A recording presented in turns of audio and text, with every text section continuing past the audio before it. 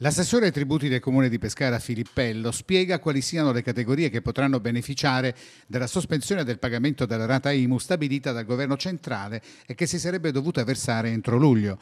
Come ascolterete si tratta soltanto dei proprietari di case di civile abitazione, mini alloggi, case popolari o anche villini comunque realizzati con materiali indispensabili, economici.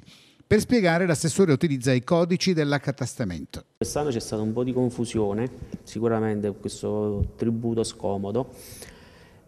E quello che posso dire è che il provvedimento che è stato adottato dal governo prevede eh, la sospensione dei pagamenti per gli immobili accatastati eh, da A2 ad A7 che risultino come abitazione principale per i nuclei familiari.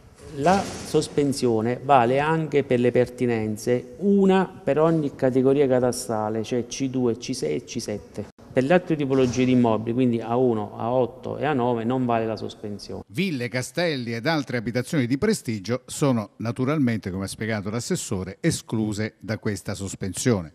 Tutti gli altri dunque l'IMU dovranno pagarla e dovranno versare un acconto secondo le modalità che ci spiega ancora l'assessore Filippello. Dovranno versare entro il 17 giugno il 50% o del totale versato l'anno precedente oppure si prende la liquida deliberata il 31 ottobre e si versa il 50%. Ma attenzione, c'è un'altra novità. Questa quota va tutta versata nelle casse comunali salvo per i capannoni industriali però, per i quali bisogna seguire questa procedura. E si prende l'aliquota media, il 7,6 per 1000, si divide per 2 e per la differenza che dice 25 quindi 10,25 meno 7,6, il 50% viene versato al comune. Questi introiti in più per il comune, spiega l'assessore Filippello, però non saranno sufficienti a risolvere i problemi. Il comune, al comune non rimarrà niente, sicuramente ci avrà uh, ulteriori tagli, quindi sarà un saldo